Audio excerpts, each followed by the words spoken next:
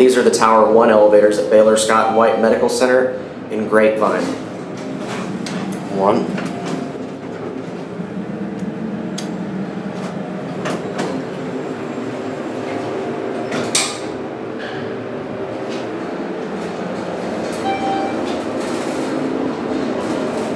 HG fixtures.